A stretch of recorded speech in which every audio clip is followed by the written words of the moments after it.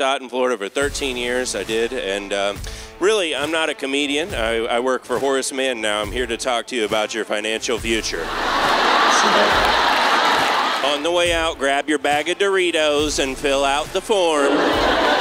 I'll be calling you. I know some of you got serious. You're like, is he for real? Is he?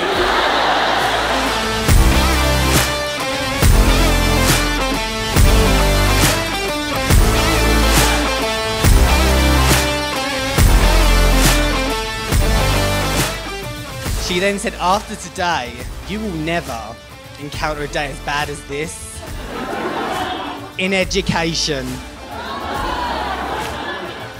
This was in 2018. And that was the day that I got highly effective in bull.